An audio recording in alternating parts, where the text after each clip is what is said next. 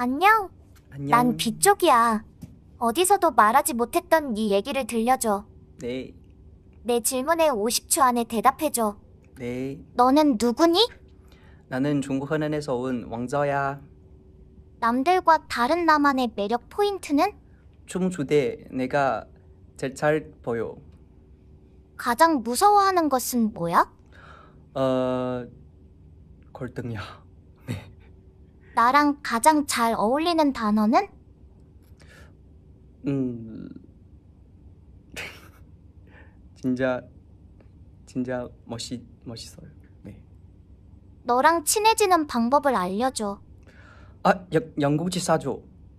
오케이 오케이 오케이. 아 죄송합니다. 한유.